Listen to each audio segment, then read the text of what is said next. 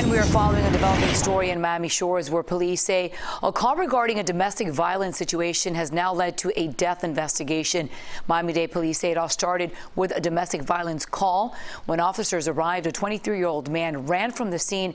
They say he ran in the direction of the train tracks at Northeast 92nd Street and 6th Avenue, where he was then hit by a train and killed. Police are not identifying the man who died. As soon as we get more information, we will bring it to you.